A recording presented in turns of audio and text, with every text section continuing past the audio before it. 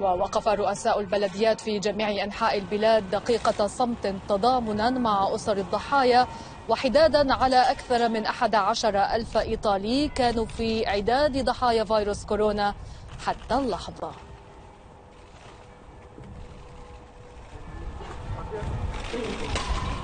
قد تخلع رياح الأزمات الحذاء الإيطالي من جسد الاتحاد الأوروبي كما خلع قبله التاج البريطاني. وروما تترك وحيدة في مداواة مآسي كورونا.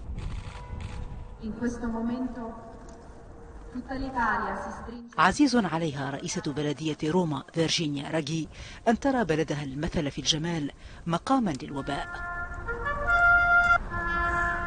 نكست الأعلام في البلاد حدادا على أرواح السائرين في درب الأوبئة التي مرت بها إيطاليا منذ قرون. وإن كانت جموع الموتى هذه المرة الأكثر منذ الحرب العالمية الثانية. دقيقة صمت واحدة قد لا تكفي للحزن على كل أولئك. ليست تلك البندقية المعهودة وقوارب المحبة فيها رواكد وعشاق الحياة يغالبون الموت في المستشفيات. عصي على عين أي سائح أن يصدق أن تلك هي فلورنسا عاصمة الموضة الإيطالية وموطن عيار الذهب الخالص ونفحة المطبخ المتوسطي الشهي. أثينا العصور الوسطى كما تلقب يختلج في قلب متاحفها تاريخ قديم مكظومة أجراس كنائسها ودمع الحزن يكاد ينبجس من أعين تماثيلها الوحيدة في الساحات. موصدة ميلانو البوابة الشمالية لإيطاليا.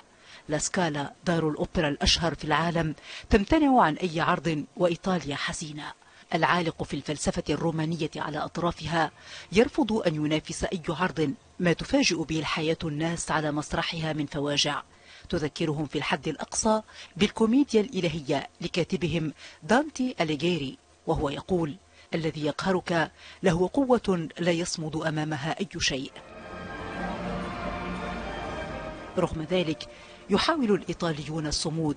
إنهم أول من غنى على مدخل النفق الكوروني.